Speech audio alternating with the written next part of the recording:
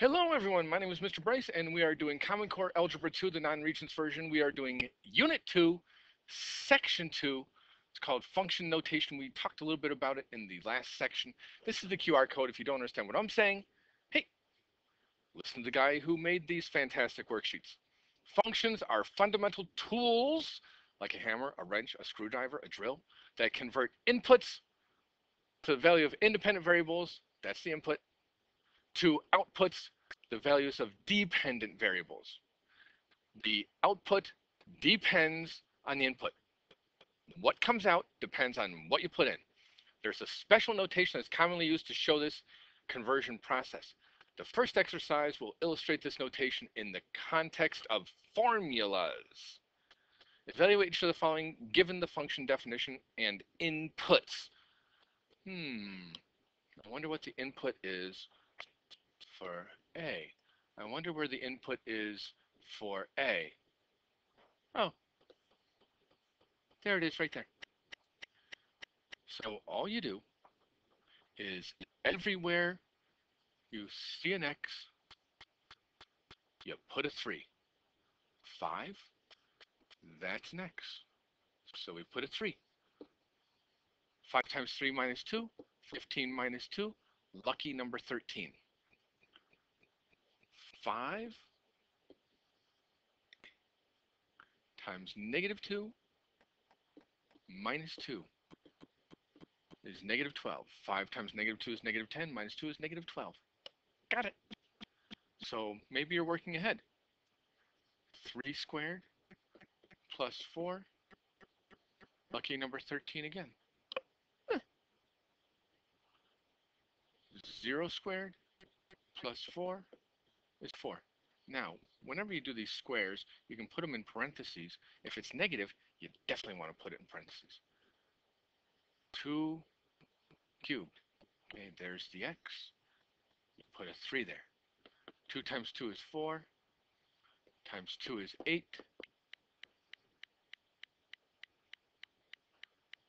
2 to the negative 2. Doesn't say we can use a calculator. Doesn't say we can't use a calculator. Guess what? It's 1 fourth.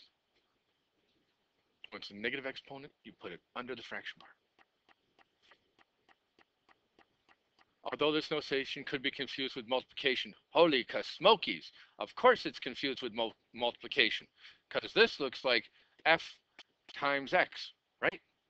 No, we have to know what world we're living in. What's the context of the problem? Output is y. This is the rule. That's the function notation.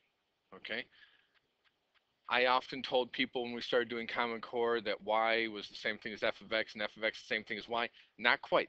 Depends on what rule, what world we're living in. Function notation f of x, g of x, n of x. Recall that function rules commonly come in one of three forms. Equations, like we showed, graphs, and tables. The next few exercises will illustrate function notation with these three forms. Okay. Boiling water at 212 degrees. Huh, must be at sea level. Fahrenheit with no salt in the water. Just pure water. Little bit of contamination. Otherwise, it actually won't boil. Interesting fact. Okay, anyway. Boiling water at 212 degrees Fahrenheit is left at room temperature. The room is 65 degrees.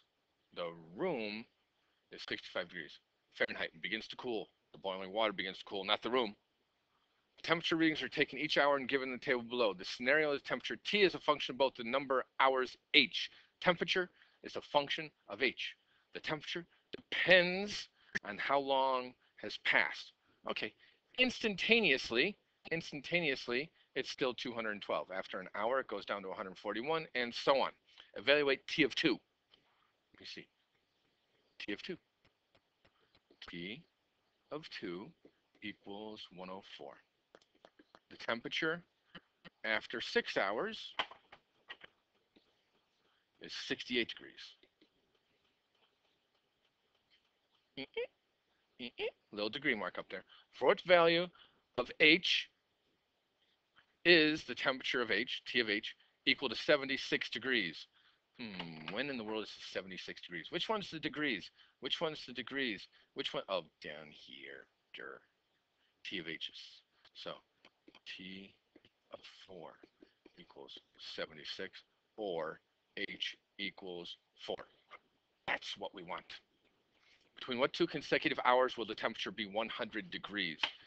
La la la la la la la. When will it be 100 degrees? Uh, too hot. Let me try this again. There we go. Too hot, too hot, too hot, too cold, too hot, too cold, too hot, too cold. Between 2 and 3, 2 and 3. Read the question, write the answer the way it wants. Between what two consecutive hours? It's the second hour.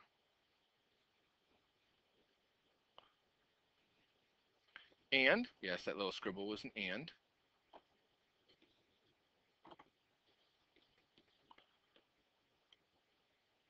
Yeah, the third. There we go. Had to look at it.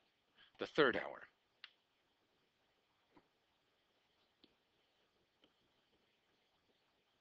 Any questions? Make sure you ask me in class. Let's turn the page. The function y equals f of x is defined by the graph.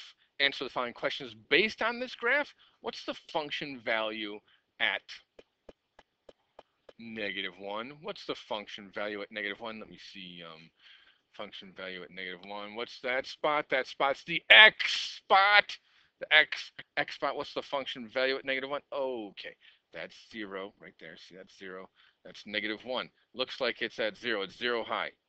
0 high. So, f of negative 1 is 0. The output is 0. The y value is 0. What's f of 1? There's 0, there's 1. Where's the graph? Boink, way up there. It's up 1, 2, 3, 4. 4 high. 4 high. What's the y value? What's the y value? When f is 1, y is 4. Okay, what's the function value at 5? Uh, 1, 2, 3, 4, 5, negative 1, negative 2, negative 3, negative 4. So f, the function value at 5 is negative 4. Slam dunk. Evaluate function value at 0. Okay, function value at 0. Let me see. Uh, when x is 0. 1, 2, 3. f of 0 equals 3. What's special about that? What does always correspond to? Well, there can be, uh, it corresponds to the y-intercept.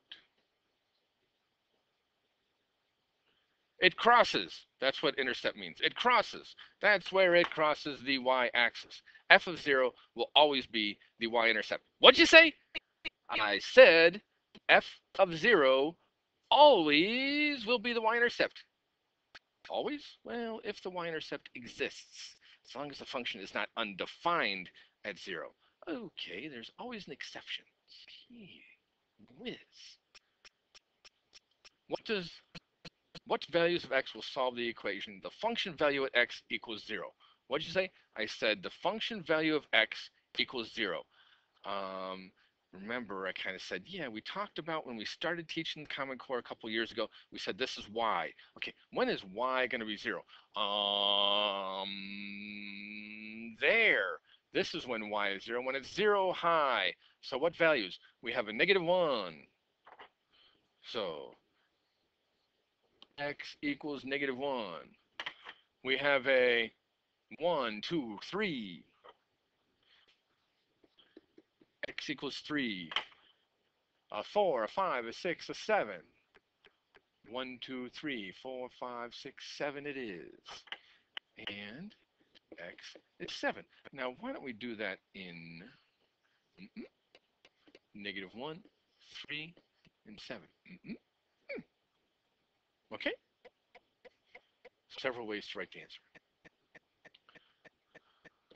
between what two consecutive integers does the largest solution to f of x equaling 3 lie? What?